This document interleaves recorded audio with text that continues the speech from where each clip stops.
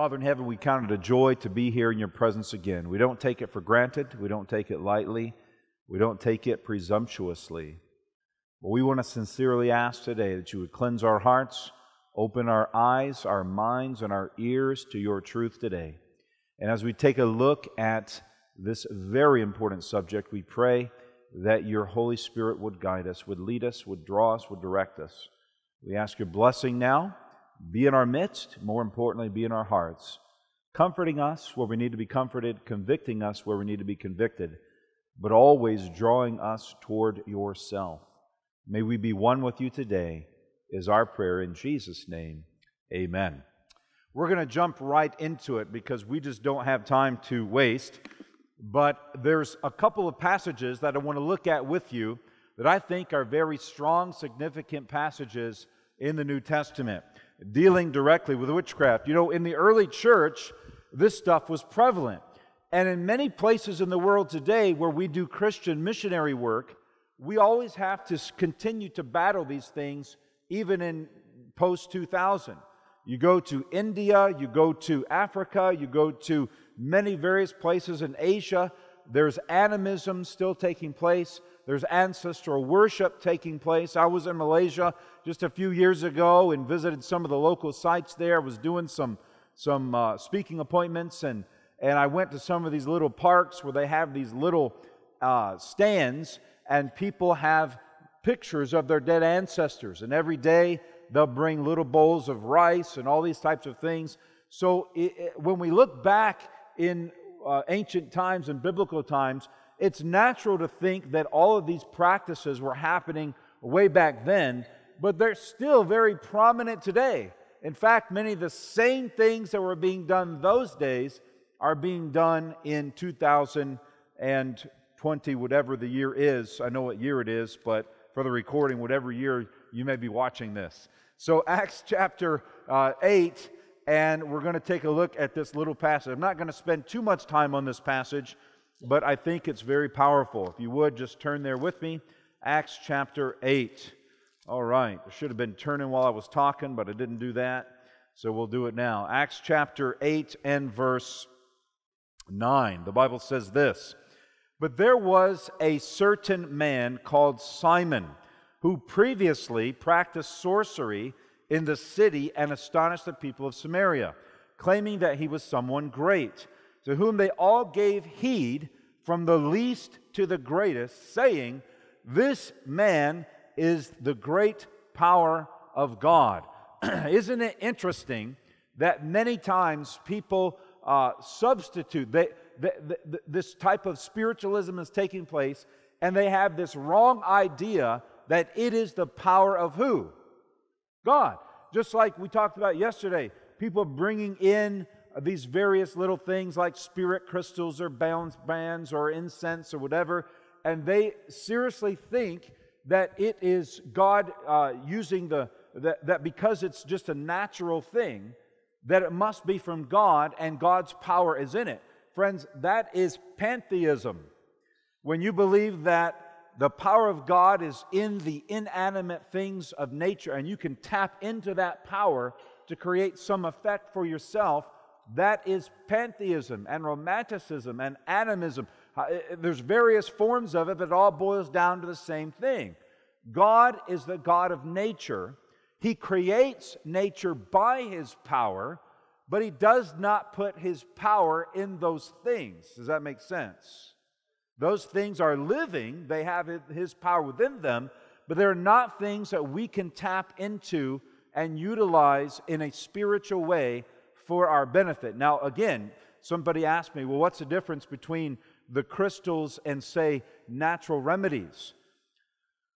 Natural remedies typically are, are some type of plant or whatever that I can ingest, and my body uses the vitamins or whatever in that to bring healing to my body rather than trying to tap into a spiritual power that is perceived to be in a thing to bring healing to me. Does that make sense? The only time that those that kind of a power is used is when God directly does that healing himself. You see that? He does not put his power in other things and then call you to tap into that power to do a thing for yourself. You understand the difference between like a natural remedy and something that we're perceiving has spiritual power. There's a vast difference between that. So it's very interesting that when people are blinded and when they are lack of understanding, they will perceive these types of things to be the power of who? The power of God. It's very mind blowing that people do this. But you begin to, as you study the Word of God, begin to perceive the difference. Uh, let's go on, verse 11. And they heeded him because he had astonished them with his sorceries for how long? A long time.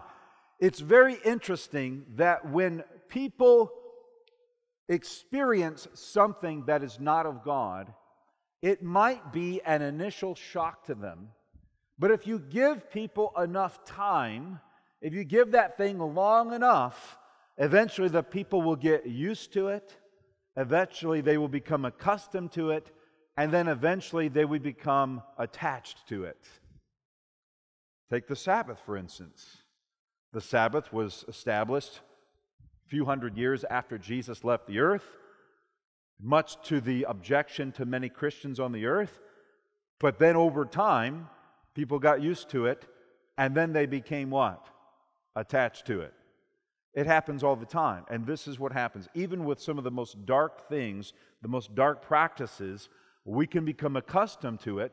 And not just even accustomed to it, but attached to it. And not even attached to it, but actually believing that what that thing is, is actually from God Himself. It's human nature, fallen human nature. But when they believed Philip as he preached the things concerning the kingdom of God in the name of Jesus Christ, both men and women were baptized. And then Simon himself believed, and when he was baptized, he continued with Philip and was amazed seeing the miracles and the signs which were done. So, Simon was, cra- uh, was trapped in sorcery. He heard Philip preaching and working genuine miracles from God. And what does the Bible say he did? What's the B word? He believed, and then he was baptized. So, did Simon believe in Jesus? Yes or no? Yes. His, uh, you know, I don't know to what level his conversion was. The Bible doesn't indicate, but he believed in Jesus. So he became a believing, baptized, practicing follower of Jesus because of the preaching of Philip. Okay? How many of you believe in Jesus? How many of you are baptized? How many of you love to hear good biblical preaching? All right, let's keep reading. Now, when the apostles who were at Jerusalem heard that Samaria had received the word of God, they sent Peter and John to them, who, when they came down, prayed for them that they might receive the Holy Spirit. For as of yet they had, he had uh, fallen upon none of them, and they only been baptized in the name of the Lord Jesus. And then they laid hands on them, and they received the Holy Spirit. And when Simon saw that through the laying on of the apostles' hands the Holy Spirit was given, he offered them what? Hmm saying, Give me this power also, that anyone on whom I lay hands may receive the Holy Spirit. But Peter said to him, Your money perish with you, because you thought that the gift of God could be purchased with what? With money. You have neither part nor portion in this matter, for your heart is not right in the sight of God. Repent therefore of this wickedness and pray God perhaps uh, that perhaps the thought of your heart may be forgiven you. For I see that you are poisoned by bitterness and bound by iniquity. And then Simon answered and said, Pray the Lord for me that none of these things which you have spoken may come upon me. Now it's very interesting that uh, you know I'm not sure that Simon was fully converted. I don't I don't know the depth of that, but he was he did believe he was baptized, but he still had an interest in those things.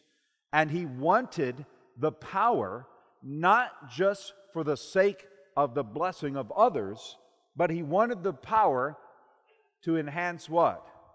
Himself. Do you see that? And then, even when Peter calls him out, he says, Your money perished with you. Pray that the Lord would forgive you. He doesn't say, Oh man, I was wrong. I was in a bad way. I was misled. I was deceived. But he says, Pray that none of these things will come on me. you see what I'm saying? Like, even after that, he's still not really repentant of the thing. He's just saying, I hope nothing bad happens to me because of this. So let me tell you, it's possible for us to believe, it's possible for us to be baptized, it's possible for us to enjoy coming to the good old Michigan camp meeting and still be involved in the things that are not of God's. And if you notice what Peter said, he said, You have no what? Part with the kingdom of God as long as you are hanging on to these things. Now, listen. Some people need to be educated. Some people need to be they need to grow in grace. Now, what we don't do is if we hear of somebody that has some movie in their house, we go over and smack their hand and we just slap them around a little bit with Bible verses and beat them up and say, Don't you know that this is of the devil? No, we're not doing those things, are we? Are we? No. But guess what? Some of you are, and some of you do.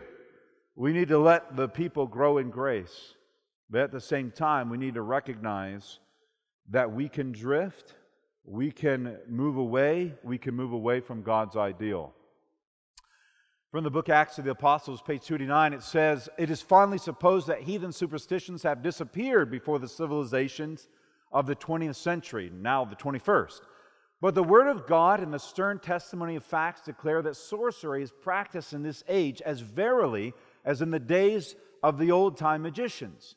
The ancient system of magic is, in reality, the same as what is now known as modern spiritualism.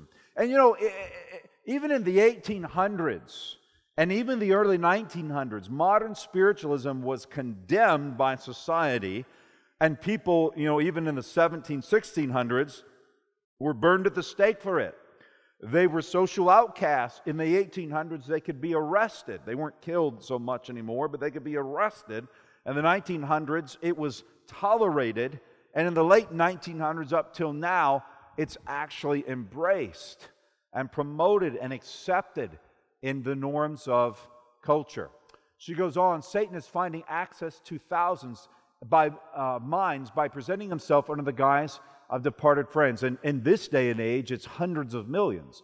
The scriptures declare that the dead know nothing, their thoughts, their love have perished. The dead do not hold communion with the living, but true to his early cunning, Satan employs this device in order to gain control of what? Minds. Through spiritualism, many of the sick, bereaved, the curious are communicating with evil spirits. All who venture to do this are on dangerous ground the Word of God, or the Word of truth, declares how God regards them. Let's go on to Acts chapter 16. Acts chapter 16, and we're going to take a look at a few verses here.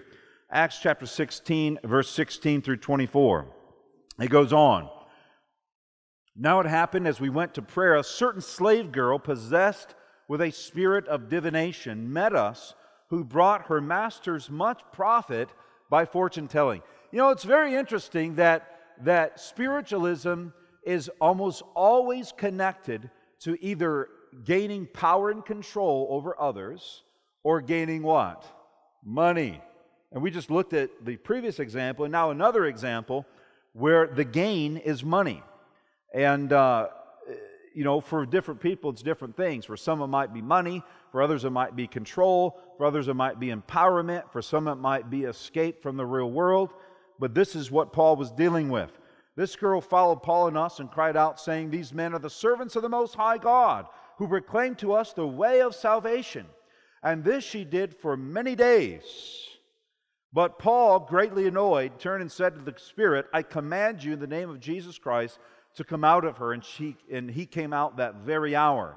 But when her masters saw that their hope of profit was gone, they seized Paul and Silas and dragged them into the marketplace to the authorities, and they brought to them the magistrates and said, These men, being Jews, exceedingly trouble our city and they teach us customs which are not lawful for us, being Romans, to receive or observe. Isn't it very interesting? They say they're trying to get rid of evil spirits, and they say they're teaching things that we do not believe in our custom.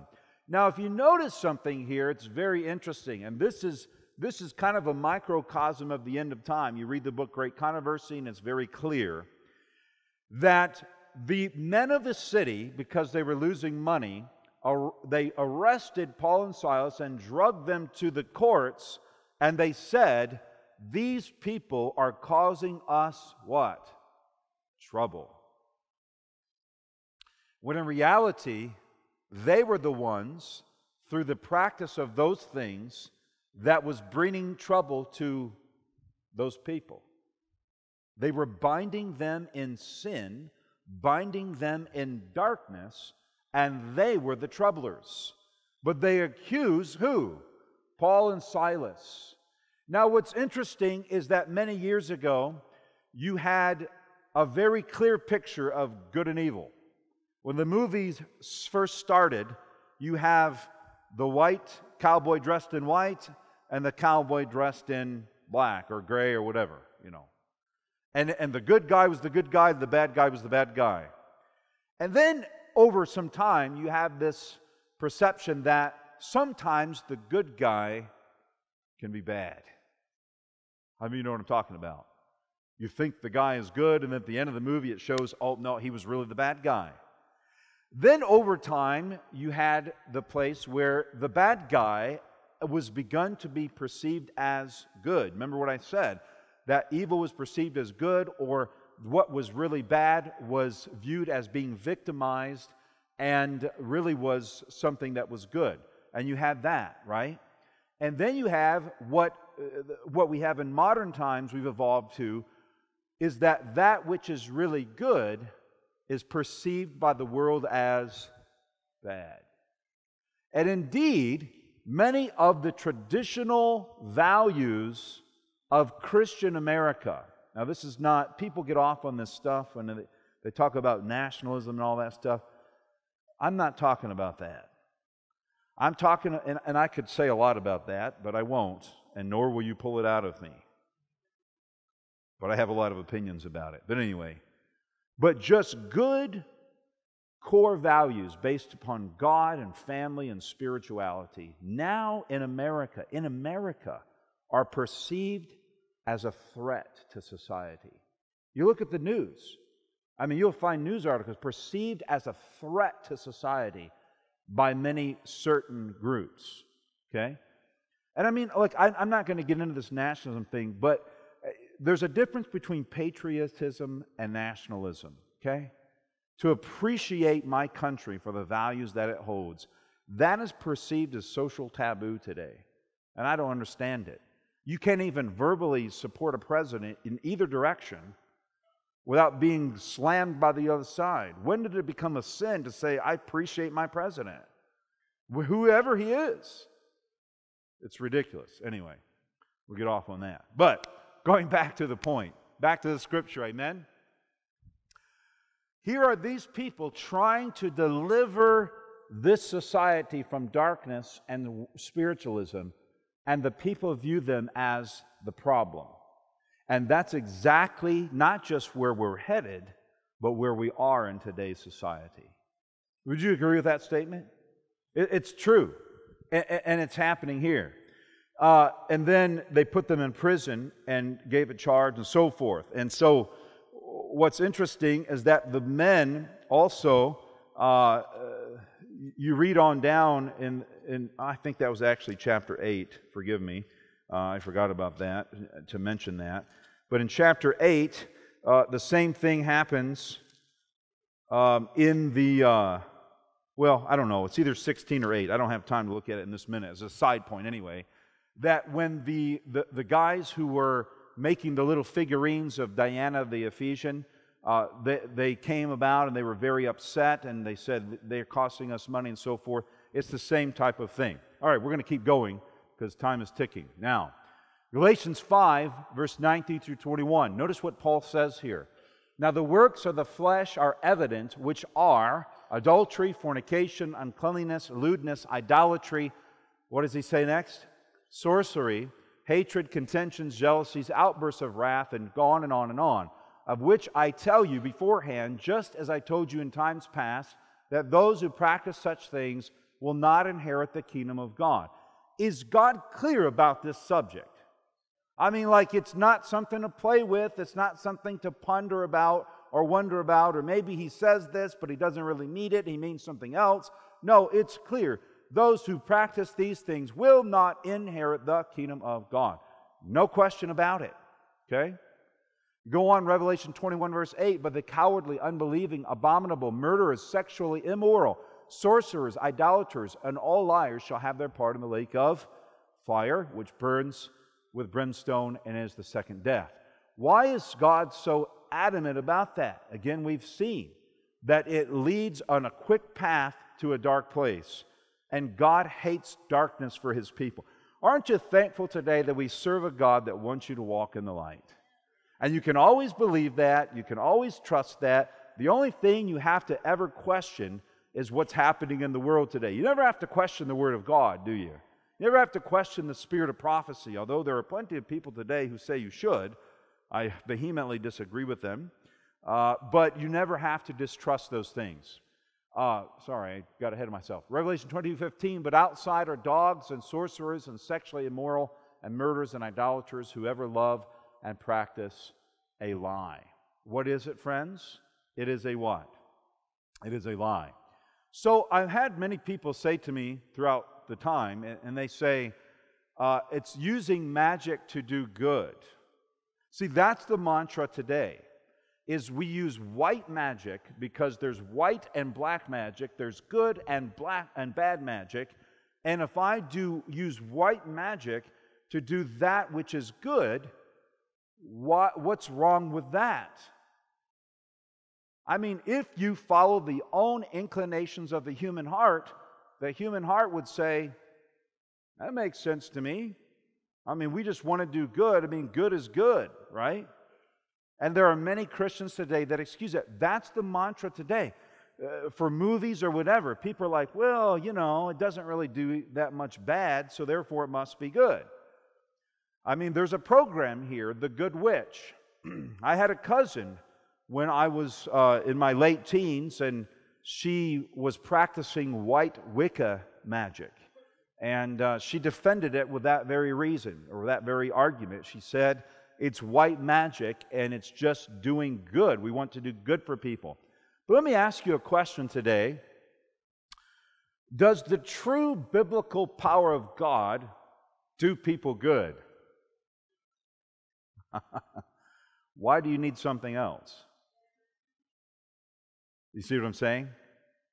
And so, uh, for many, it's uh, many of those they don't believe in God, and they've embraced some other form of perceived good. But God is the one who is good. God is the one who is love. True or false? So, when whatever picture of love you're looking at, and you could look at a million different perceptions of love, if it's not from God, it is not really love. It is a perception of love, a false perception of love. Because God doesn't define love, God doesn't know about love, God doesn't just merely express love, but God is love. That means every understanding of love connects back to Him. You see what I'm saying? And every perception of, of anything, of good, all stems back to Him because He alone is good. And so anything outside of that. So if, if, if somebody is using a method to attempt to do good on the earth that God does not approve of that method, and God says that is aligned with the powers of darkness, then is there really any good that's coming out of that? No. It's the, it's the old fashioned story that you know, at the end of time, the devil's going to inflict disease and then appear as Christ on the earth and withdraw that disease to make it appear good. The appearance of good is not always good, okay? You have to understand that. So, the Bible makes no distinction between white and black magic, good or bad witches. Scripture condemns the use of it in any form or fashion.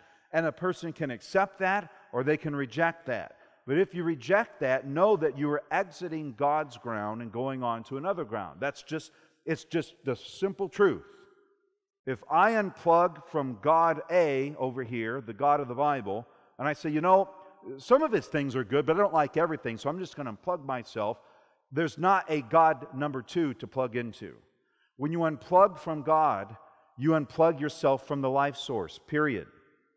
And you might have an existence, but you don't have life. Okay? All right, let's go. I'm going to slip past. I'm going to, man, my thing is sticking here just a little bit. And then it gets ahead of me here. It doesn't want to go on that text. I better read that text because it keeps clicking off of it. The Bible says in Colossians 2, I was going to skip it, but we're going to read it. As you therefore have received Christ Jesus the Lord, so walk in him, rooted and building up in love, established in the faith as you have been taught, abounding in it with thanksgiving. Beware lest anyone cheat you through philosophy and empty deceit. What does the Apostle Paul say? He says, Beware lest anyone do what? Cheat you. Listen, if I gave you a, if, if God gave you a key and He put a key in your hand and He said, as long as you possess that key, no matter what happens to you, you will have everlasting life. It's a golden key shining and glowing, right? And you hold on to that key, and somebody comes along and they says, Hey, you know, I have this thing. Would you like it? Looks good to me. The only thing you have to do is give me that key and you say, Not a chance in all the world, because this is my eternal life. And he says, Look, like, you know, uh, you don't have to give it to me forever. I'm just going I just want you to take a little sample, just have a little fun, and I'll give you your key back. Okay, because remember what we said the other day? You cannot receive something with a what? Closed hand. You have to open the hand. So you open the hand, he takes the key out, he places the trinket in your hand, you get a hold of it, you look at it, and you say, Wow, that's cool, but I'm feeling a little empty now. I'm done. I want my key back. What do you mean, your key? You gave it to me. It's mine now. Yeah, but you only said for just a minute. And, I, and they said, Well, I, I now have the key, so I will determine how long I'm going to hang on to it. And by the way, I've decided I'm not going to ever let go of it, like you foolishly did. You see what I'm saying? And then Jesus had to die to give that key back into our hands. Make sense? Let no one cheat you through philosophy and empty deceit. Nothing is more valuable than that key in your hand, which represents the righteousness of Jesus. Amen? Just, just an illustration there. All right. For in Jesus dwells all the fullness of the Godhead bodily and verse 15, having disarmed principalities and powers, he made a public spectacle of them, triumphing over them in it. How many can say hallelujah for that? When Jesus died on the cross, he exposed the powers of darkness. He exposed those powers that are looking to bring darkness to the world. He exposed them, he made them known to the world, and he put an end to their power, except as you give them permission to do so. Satan has no power over us today except as we yield our wills to him and give him permission. I'm very thankful for that today. Amen. But the fruit of the Spirit is love, joy, peace, long suffering. Against all those things, there is no law. How many of you want those things to be prevailing power of your life? Love of Christ and the fruits of the Spirit. Now, let's go on. Acts chapter 19. This is the last main chapter we're going to look at here. And then we got to move into our topic for today. Acts, this is a powerful one. I let, saved it until last. Acts chapter 19, verse 11. now, God worked unusual miracles by the hands of Paul, so that handkerchiefs or aprons were brought from his body to the sick, and the disease left them, and the evil spirits went out from them.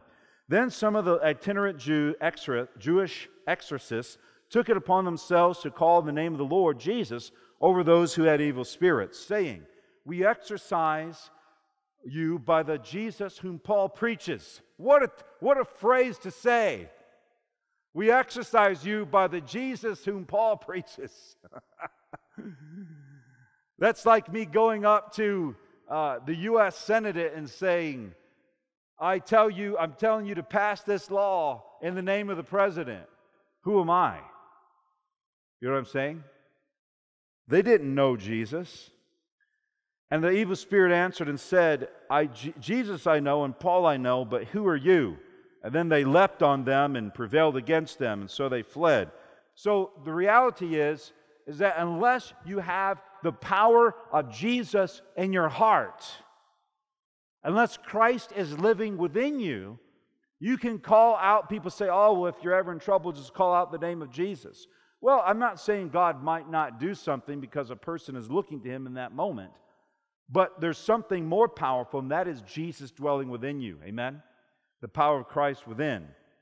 Now, going on down here, uh, verse 17 this became known to all Jews and Greeks dwelling in Ephesus, and fear fell on them all, and the name of the Lord Jesus was magnified. And many who had believed came confessing and telling their deeds.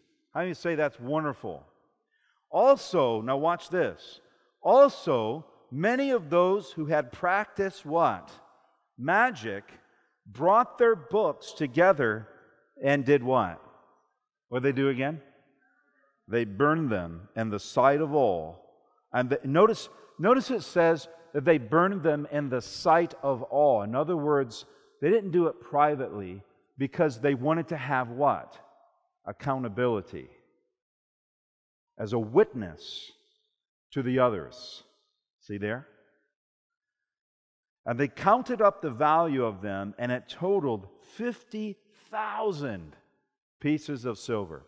That was 2,000 years ago. How many of you would like to have in 2000, whatever the year is today, would like to have 50,000 pieces of silver? Would you like to have that? That's no small. In today's money, that's probably millions of dollars, maybe hundreds of, I don't know exactly, but it was a lot. And what were the people doing? They were spending their money on this thing. It amazes me that people will spend all their money on this kind of stuff, and then they say, "Well, I don't, I don't, I, am always broke. I, I, don't have any money," Uh, and, and they're trying to get somebody to pay their power bill because they don't have money because they're spending money. Listen, People say, well, I, I couldn't return a tithe. Who wants to return a tithe? Every person in the world returns a faithful tithe and a faithful offering. Everyone. The, the lead warlock of the church of Satan today returns a tithe. It just depends on which God you're paying it to. Are you with me? Some people got a brand new bass boat out there, six months of tithe. Some people live in a bigger, fancier house than they need, paying tithe to their God. Some people are enchanted with all these little charms, returning a tithe to their God. Get my point? Now, what happened after they did this? What happened when they cleaned out the idols in their life? and they burned the stuff that was separating them from God. Verse 20 So the word of the Lord grew mightily and prevailed.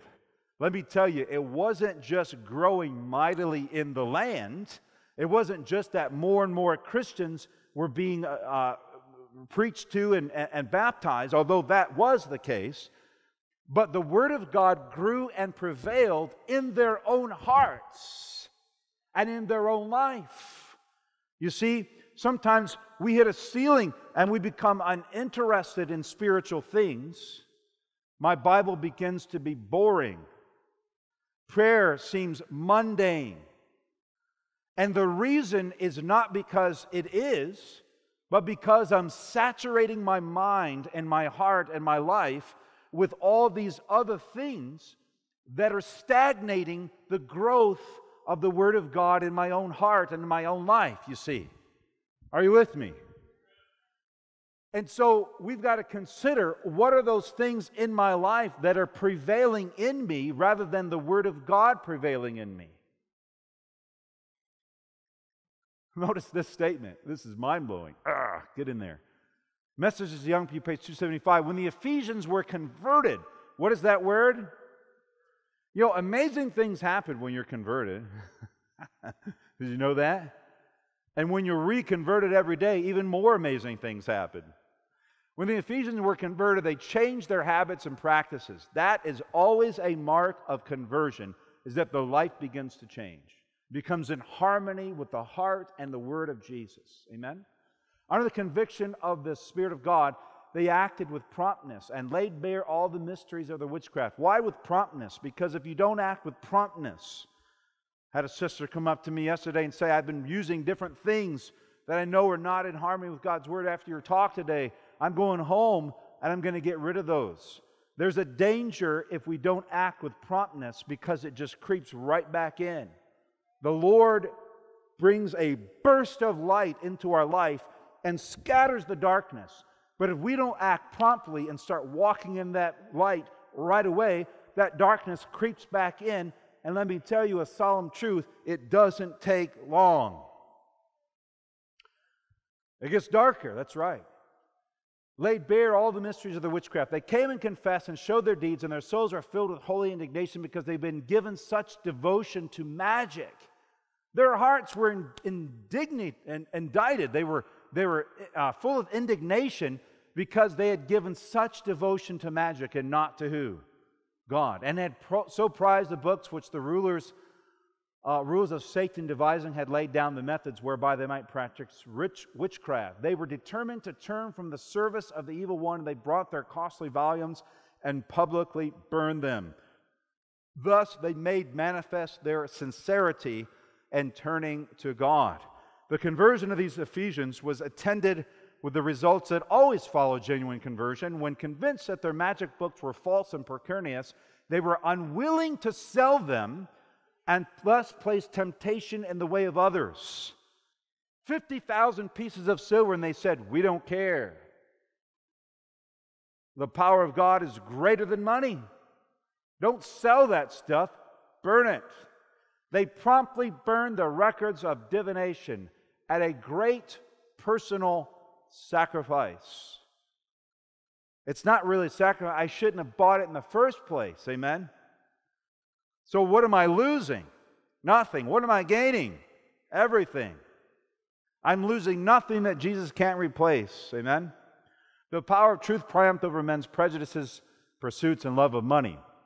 The book of, of the Ephesians committed to the flames on their conversion to the gospel they formerly delighted in and permitted them to rule their consciousness and guide their minds.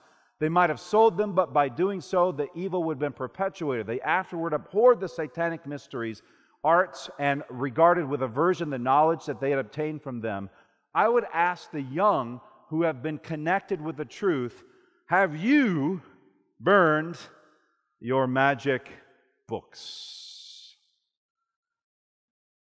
It's the same today. And the question is asked Have you burned your magic books? I remember when I was in third grade, third grade, and uh, I checked out for the first time a book called The Hobbit in my school library. I went to public school, I wasn't raised in the Adventist church. And I read that book, and it, let me tell you, I'll just, I'll just tell you, one of my weaknesses in my in my past is medieval fantasy. There's young people here and they're like, "Yep, I know exactly what you mean." Dungeons and Dragons, elves, dwarves, wizards, dragons, knights, and I loved it. And if I if I were to ever stray from the Lord, it'd be one of the first things I'd pick up again. I have to guard myself exquisitely. And I had all of the Lord of the Rings books, all the individual books, all the books in a series, all the books. And I voraciously read them, starting from third grade with The Hobbit. And I read all those books multiple times. And I just was enthralled by that stuff. And I remember when I came to the Lord, the Lord said, You need to get rid of that. And I did. I got rid of it. Because let me tell you, it, it, people are like, well, but I'm not, blah, blah, blah, blah. When you see the Lord Jesus as he really is, and you need to, if you don't understand Jesus like this, then you need to pray that He will give you a revelation of Himself. But when you see Jesus as He really is and the value that He has and the value He's placed on your life, there is absolutely no question, no question what you ought to do with anything related like that. Because Jesus is so much greater and so much more valuable. How many can say amen? Have you burned your magical books? Is the magic question today. Is there something in your house, a movie, a television series, a channel on your Roku or whatever you use, Apple TV, a video game that you need to say, This is not God's will for me? I'll tell you that story another time. I'm going to go into our last piece today spiritualism and witchcraft and modern culture. I, I don't know if I'll finish. If I don't, I'll finish tomorrow. I'll say everything I need to say by the end of the week. Amen? But if I were to ask you today, how many of you like fresh squeezed orange juice? How many of you love it? Amen? If I were to say to you, please do choose either one of these glasses to drink, how many of you think it looks great? It looks safe. But what you didn't know is that in one of those cups is one drop of venom from a king cobra, which, by the way, one drop of venom from a king cobra is enough to kill three grown men. Three grown men.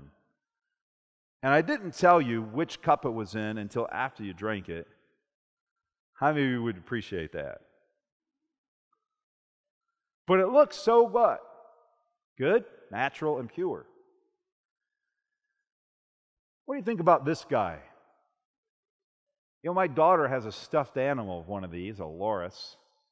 Do you think he's just so cute? You know why his jaws puff out like that? Because he's got big, massive, nasty teeth that actually have neurotoxins. This is the only poisonous primate in the world. And if he bites you, you have an anaphylactic shock that takes over your body. But he looks so what? Cute and innocent. Amen? One thing I loved about Michigan is that there are no, except for the Massasauga rattlesnake, but there's no other poisonous snakes here, no poisonous frogs that I know of. But what about my kids used to just love, I mean, my son would walk in with like three garter snakes in his hand. I'm like, get those things out of here. And then like have a frog in every pocket. Amen? I mean, it's great. But here you have this dark, how many things is just so cute? This is the po- most poisonous frog in the world and has enough neurotoxins to kill 20,000 mice. Those things which look sometimes pure, innocent, cute, and fun are not always that way. How many would agree? The Bible tells us for such are false prophets, deceitful workers, and so forth, transforming themselves into apostles of Christ. And no wonder, for Satan himself transforms himself into what? Now, what are the good things about Satan? Nothing. Amen? Nothing. And he transforms himself into that which appears good. So naturally, his plan for the world would be to do so. The devil is a master at making what God condemns for good reason. Is there any good thing that God will withhold from those who love him? Any good thing? So if it's good, it's for you. Just like God said in the Garden of Eden, of every tree you may freely eat, except that one which is not good for you. So if you really trust and believe God, then you'll know that anything He gives you is good for you, anything He forbids is not withholding from you, it is not good for you. True or false? How many think this young lady, she looks like a sweet young girl, doesn't she? Looks like almost even like an Adventist girl, like a nice girl that grew up in the church. 20 some years old, she killed her college roommate because she wouldn't perform some kind of sexual act with her. She killed her, cut her throat, in fact. Cute and innocent, but a killer. Now, there's something called program non response. How many of you have ever heard this? If you've ever taken a soul winning class, you know what program non response is. It, it, it's very simple. The, the word explains itself. You are programmed not to respond. And so, back in the old days of film, you have this idea that, uh, well, it started off the cowboy in white, the cowboy in black, and the cowboy in white is going to overcome the guy in black because good always overcomes evil. And you know, they, uh, the movie's there, and he's chasing them all through the movie, and he eludes him. Then at the end, they have the gunfight. And back in the 50s or 60s, whatever it was, the very first death on screen, you know, you remember the old days, the old westerns, they'd shoot the guy, and there'd be this little red dot. You know what I'm talking about? About that big. And it's like, and everybody was like, when I first saw that.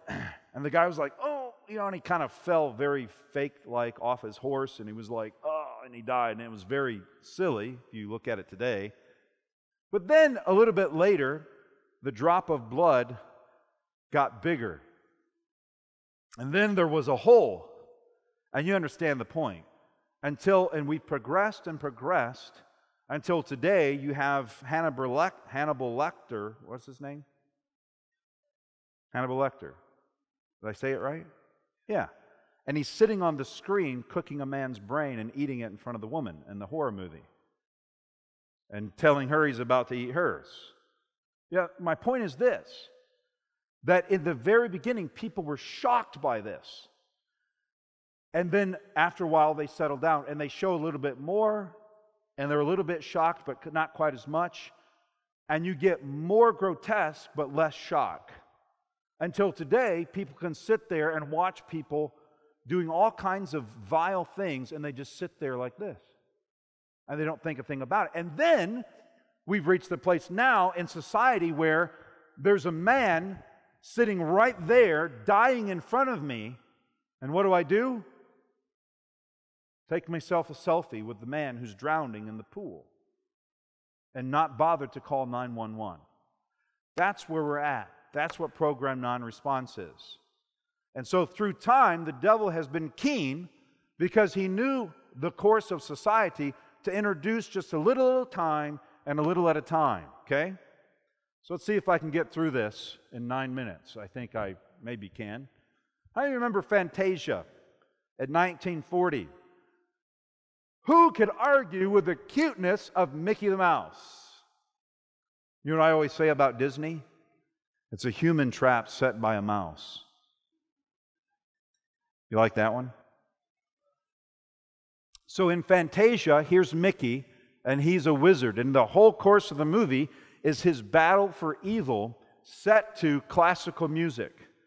And it's very innocent. There's all kinds of cute little features. You know, he, he casts spells to get the brooms to do his little work for him and all this thing. And then uh, over, you know, he's doing all these things with that's his spell book that he's flying on. And then there's this bad, evil guy that he fights at the end named uh, Chernabog, and he is a demon, actually.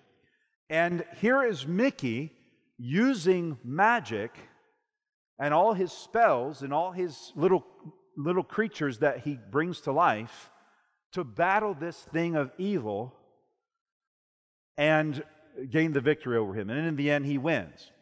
Good for Mickey, right? But what is he doing? He's using that which God says is already bad to battle a greater evil. So then, that which is not what God recommends is viewed as okay or even good. Do you see that? Does that make sense? Friends, that was back in 1940. Then you have the Addams family coming out in 1960. I mean, just a, human, just a humorous comedy show. Maybe some of you have even watched this. But if you look at this, it's very interesting. You have a living vampire as the dad, a zombie as the butler, a witch as the mother and grandmother, and the uncle who is, um, I don't know, he's something. And, uh, and then you have the children who are kind of like the hybrids. And all these things, we're just making them simple, innocent, cute, and fun. And we have now modern uh, renditions of it. You can see it right there. and uh, even cartoons and so forth. And so we're making that which God condemns cute, innocent, and fun, and everybody accepts it. And then uh, the Christian world accepts it. And in today's age, I couldn't find an article speaking against some of this stuff from the Christian worldview. They all embrace it and support it and recommend it. And they say, We know that it teaches things that are not ideal. They said, But you just got to know the difference and talk to your kids about it. How, and, and they say this, they use this as an excuse. It's everywhere in the world, so you might as well just go ahead and, and do it and then just try to know the difference. How about we just don't do it? How about Philippians 4 8? Whatever is true, noble, good, we meditate on those things and avoid those other things. Daniel didn't say, Well, the food is set in front of me, I might as well eat it. He didn't say, I won't eat a whole meal, I'll just eat enough to satisfy them. He said, I'm not going to eat it. Oh, come on. Bewitched. Making the witchcraft joyful, cute, and fun, right? I mean, so cute that all I got to do to cast a spell is twinkle my nose, right? The Bible makes no distinction between good and bad, does it? You know, even casting little spells to make people fall in love with me or, or just doing things for people's good. How about trusting in the power of God to do good on the earth? And not trying to look for another source of power outside of His because I'm not satisfied with what He does. Now, this one is mind blowing to me. The Wonderful Wizard of Oz. In the 80s, man, I watched this movie, I don't know how many times as a kid. How many of you ever watched this as a kid, right? Seems absolutely innocent. And these people are on the way, they're traveling on the way, and if you notice, on a yellow brick road, what are the streets of this holy city made from?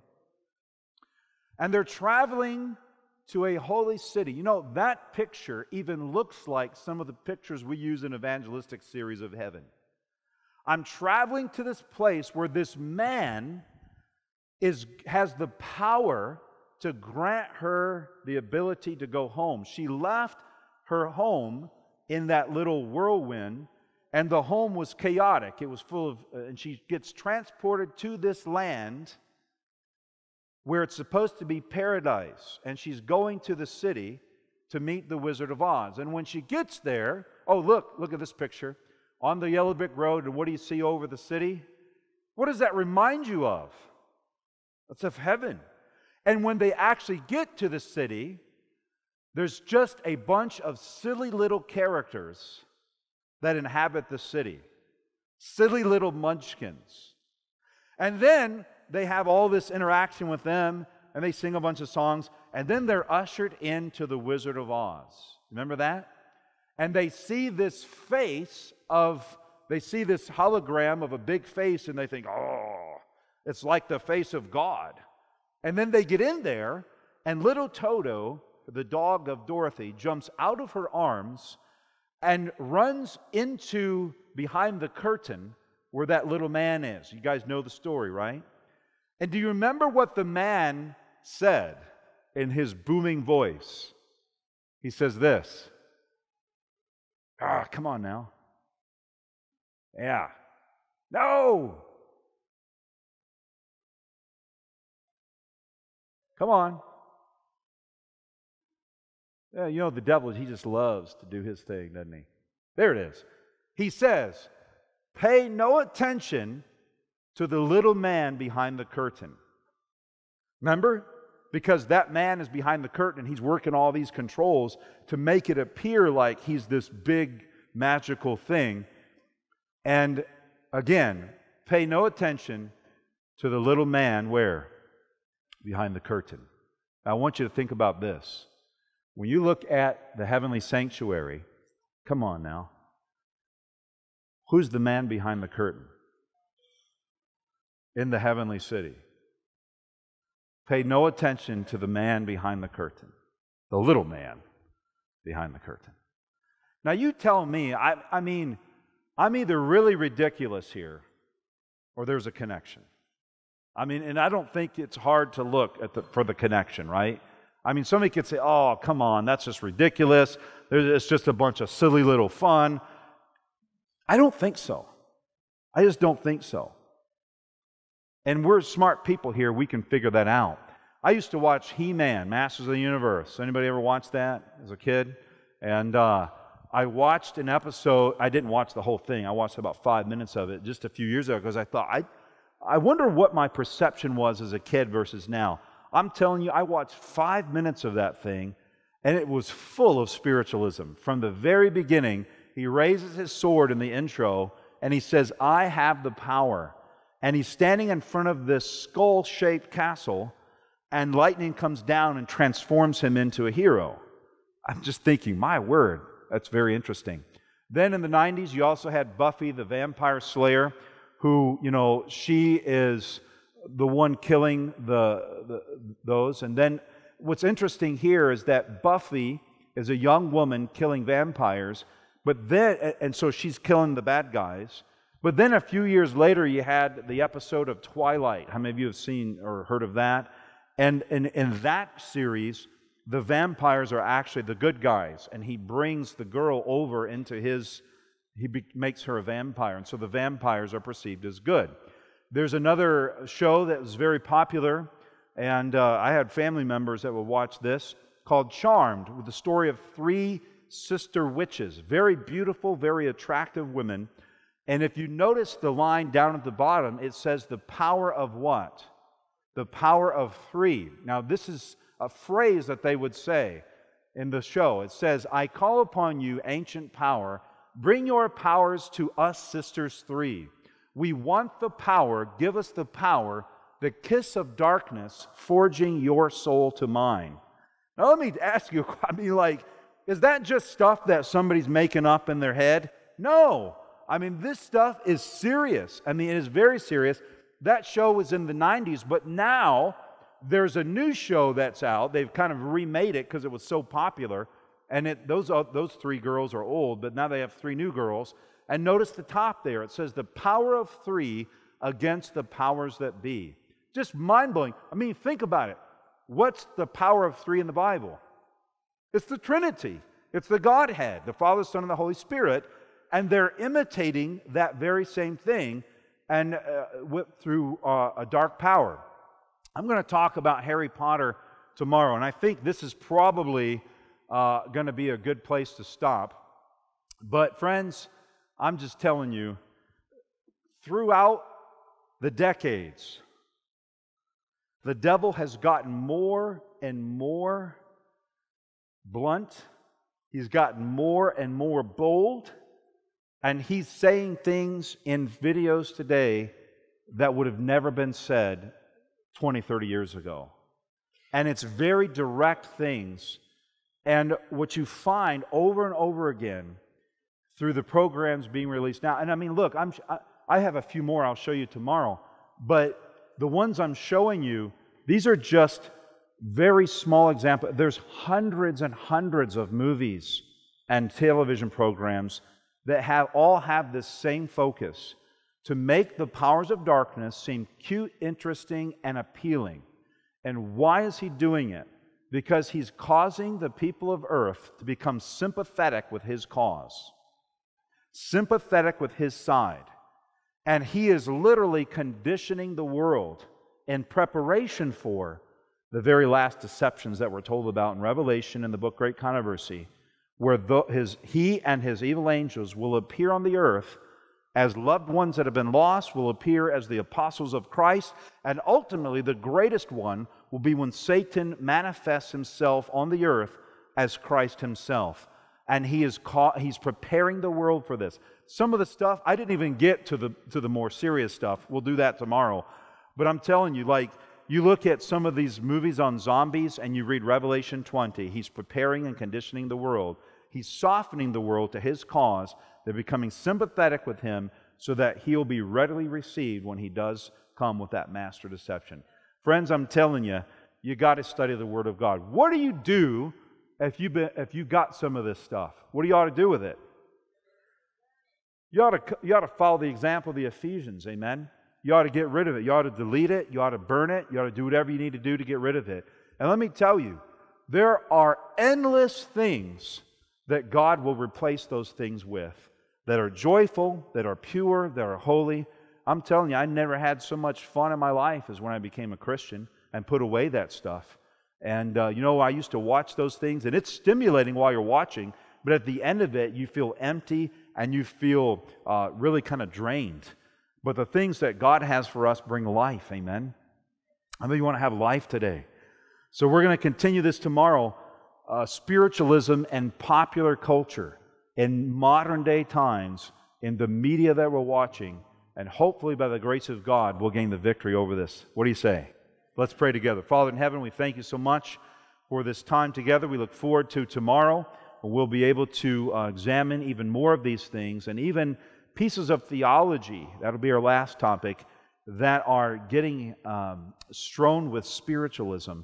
And we pray today that your hand would guide us, that you would give us boldness, you would give us uh, an extra portion of your spirit to guard us against these things in the last days, and that we'd have the boldness to say no, to seek out your will for our lives, and the desire and the willingness to surrender our lives to you. So bless each one, I pray. And Lord, may we make the decision that we need to make today to get rid of those magic things and to turn our whole minds, our whole hearts to the resurrection power of Christ. That's what we want. That's what we plead for. And we ask your blessing here today. In Jesus' name, amen.